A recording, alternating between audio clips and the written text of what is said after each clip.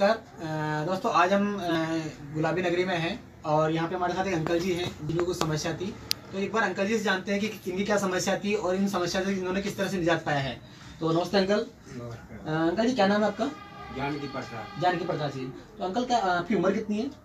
सैतालीस साल। सैतालीस साल। तो अंकल मैं जान सकता हूँ आपको समस्या क्या थी? समस्या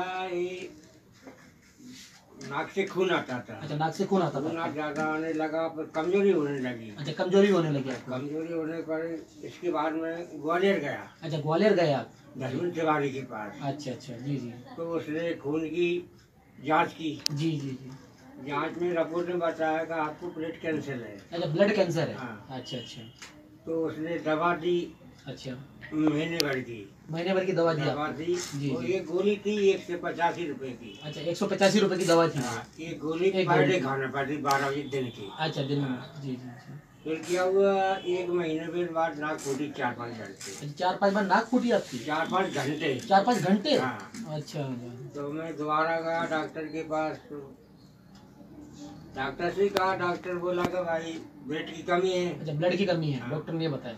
जी जी। बोले दो बोतल ब्लड चाहिए। दो ब्लड अच्छा अच्छा दो बोतल ब्लड चाहिए तो मैंने कहा साहब मेरे घर से है उनका ले लो एक दोस्त का ले लो एक बोतल मेरा। जी जी जी जी। बोले वो लेडीज़ का खून नहीं लगेगा। अच्छा लेडीज़ का खून नहीं लगेगा? ये डॉक्टर ने बोला? हाँ। जी जी जी। वो दोस्त का लिया नहीं है उसने बोला भाई का ग्रुप लगेगा। अच्छा अच्छा। भाई बोला मेरे भाई मैंने बोला कि भाई मेरे दे सक नहीं है खून क्योंकि मेरे से कमज़ोर है। अच्छा भाई आपकी कमज़ोर थे इसलिए उनका खून नहीं चढ़ सकता? हाँ। अच्छा अच्छा। तो मैंने बोला डॉक्टर साहब आप मूल दे दो हमको। अच्छा अच्छा। मतलब बाज़ार से ले आओ? हाँ, नहीं मूल दे दो आप हमको। अच्छा, अच्छा। बोले मूल नहीं मिलता खून तो हमने कि मार्केट से ले आप सैंपल करके उसको चढ़ा दो। जी जी जी। बोले वो मार्केट का अलाउ नहीं है। अच्छा मार्केट का अलाउ नहीं है? अलाउ नहीं है। अच्छा अच्छा। तो मैं तो भगे आया उनसे अच्छा वहाँ से? वहाँ से भगे आया जयपुर आया। अच्छा अच्छा। जयपुर से दो महीने हो गए दवा खाते खाते। अच्छा अच्छा। कौन सी दवा खा रहे हैं आपके लिए ये आयुर्वेदिक। आयुर्वेदिक दवा। आप मैं जान सकता हूँ कौन सी दवा आपकी? मुझे दिखाएँगे एक बार आप? ये दवा है। अच्छा ये दवा है। एसलीपीएस वेलनेस प्राइवेट लिमिटेड का। इम्यूनोडॉग नोनी और थंडर ब्लास्ट ये तीन प्रोडक्ट हमारे यूज़ कर रहे हैं तो इन प्रोडक्ट्स यूज़ करते हुए कितना टाइम हो गया आपको? इसको दो महीना हो गया। दो महीने हो गए तो अभी आपको क- कोई आराम आराम लग रहा है आपको?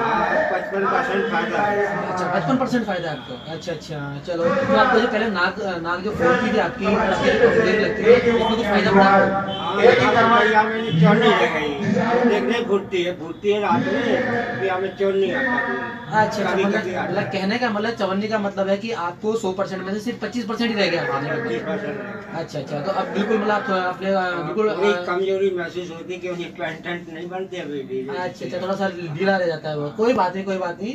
तो कहने का मतलब अभी तक ये दवाई से बहुत संतुष्ट है। हाँ, तो मैं जानना चाहूँगा हमारी जो संस्था है जो घर घर जाके जो बीमारियाँ उनका बीमारी का इलाज कर रही है। तो आपको क्या लगता है हम कैसा काम अच्छा काम कर रहे हैं गलत काम कर रहे हैं? नहीं अच्छा काम। अच्छा अच्छा काम कर रहे हैं। तो आपको जिस तरह से इसको आ, आपको यूज़ करते हुए इसको फ़ायदा मिला है क्या आप चाहते हैं दूसरों को भी आराम मिले? भी